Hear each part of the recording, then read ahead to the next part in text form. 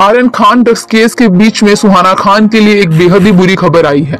जैसे कि आप सभी जानते हैं, आर्यन खान को ड्रग्स मामले में अब पुलिस ने हिरासत में ले रखा है। इसी बीच शाहरुख खान की बेटी, यानी कि सुहाना खान की हमशक्ल एक सामने आ चुकी है। शाहरुख खान और उनकी फैमिली इस वक्त बेटे आर्यन खान के क्रूज ड्रग्स केस को लेकर सुर्खियों में है। मुंबई तट पर क्रूज पर रेप पार्टी के आरोप में आर्यन खान समेत सात लोगों को एनसीबी ने गिरफ़्तार कर लिया है। आर्यन इस वक्त न्यायिक हिरासत में है और इसी बीच शाहरुख खान की बेटी, यानी कि सुहाना खान के हमशक्ल का वीडियो सोशल मीडिया पर बहुत ज़्यादा वायरल होता हुआ नज़र आ रहा है। बता दें कि इस वक्त सुहाना न्यूयॉर्क में है। सुहाना सोशल मीडिया पर सबसे एक्टिव स्टार किड्स में से एक हैं, जिनकी फ़ैन फॉलोइंग भी बहुत ज़्यादा ज़बरदस्त है।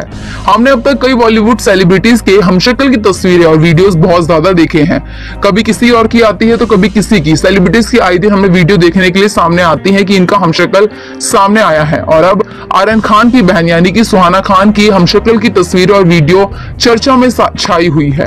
एक लड़की की वीडियो सामने आई जो बिल्कुल सोशल मीडिया पर जो छाई हुई है, जो बिल्कुल सुहाना खान की तरह दिखाई देती है।